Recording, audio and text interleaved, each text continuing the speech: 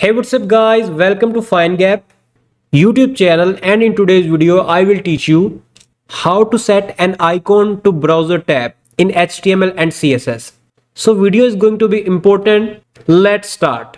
So friends first of all in my desktop you can see there is a folder named favicon and inside this folder I have this icon named twitter.png and the second is my index.html and here in my VS code you can see that I have opened this in my Visual Code Studio.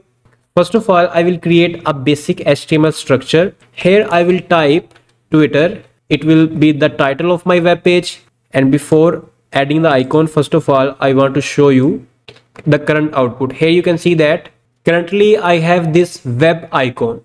Now to your head section you have to type link relation shortcut icon type x icon and href twitter.png which is the name of my icon. This icon twitter.png now when i will refresh the page friends you can see that a twitter icon here with a twitter word. Friends i hope you must enjoyed this video. Subscribe to our youtube channel if video was helpful. And finally thanks for watching